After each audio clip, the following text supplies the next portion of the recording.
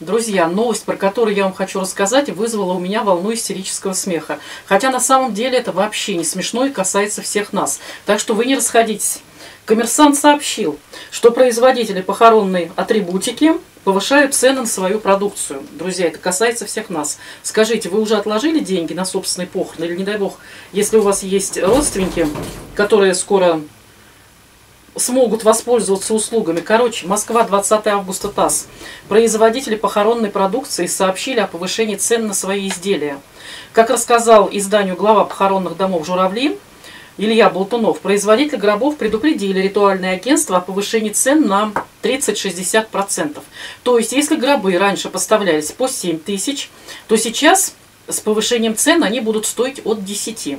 Соответственно, дерево, оградки на кладбище, кресты, то, что сделано из металла, и гробы деревянные, я говорю про дерево, возрастут в цене. Это все, друзья, происходит от того, что скоро будет запрет на экспорт. Более дорогие образцы гробов подорожали с 15 тысяч до 20-25 тысяч рублей. И столь сильный рост цен отмечен впервые за 10 лет. Кроме того, на 10-20% выросли в цене, в цене деревянные кресты. Как пояснил производитель гробов, стоимость необработанной древесины выросла вдвое из-за предстоящего запрета на экспорт. Но этим летом многие из нас уже столкнулись, что цены на стройматериалы поднялись в несколько раз.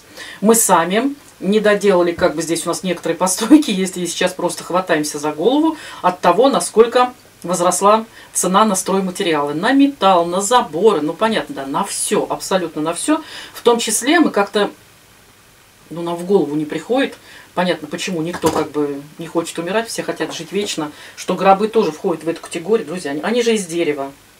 Так, что еще? По словам этого же товарища, цена на металлические оградки возросла на 45%. Ну, пишите. Вспоминаем, вспоминаем советские времена, когда наши бабушки делали в сундуке узелок, где было вот это вот все гробовое. У моей бабушки там лежало платье, тапочки, э, тюль, который покрывают покойника сверху, обивка для гроба, одеялка на гроб, платочки.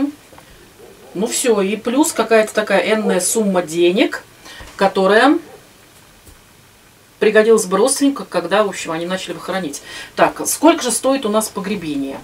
Ну, Слава богу, наша семья последний раз с этим сталкивалась довольно давно. Мы хоронили брата мужа, и у нас ушло, наверное, это было около 30 тысяч, хотя я не ручаюсь. Это было давно, друзья. У нас место на кладбище, мы живем в деревне, у нас бесплатное место. Место мы не выкупаем, ну то есть вот прям приходим на кладбище и говорим, похороните нас вот здесь. Все, все остальное, естественно, делают ритуальные услуги, забирают покойника из дома, в общем, все, одевают, обувают. Вся эта одежда недорогая, ну, продается в тех же самых ритуальных услугах, и платьице можно купить, и косыночку, и все как бы вот. То есть вообще без проблем одеть умершего человека. И веночки там, и все дела. И плюс, конечно, поминки сейчас, ну, я не знаю, как у кого, но вот у нас уже в деревнях редко делают, ну как редко, ну скажем так, скажем так, не все делают поминки дома. Если раньше все готовили сами, собирали по соседям рюмки, вот, между прочим, у нас здесь было заведено, что рюмочки, стаканчики помечены были. Каждый хозяин метил свои рюмочки, лаком обычно красным на донышке. Вот так вот раз, полосочку, типа мои рюмки, чтобы потом назад их забрать. Вилки, там ложки собирали. У нас поминки здесь всегда были богатые.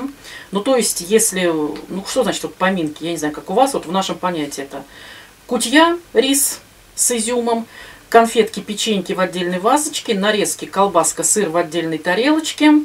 Э, что там еще? А, салат, огурцы и помидоры в отдельной тарелочке. Это как бы на общий стол. И дальше щи, либо лапша, либо постный суп, если пост.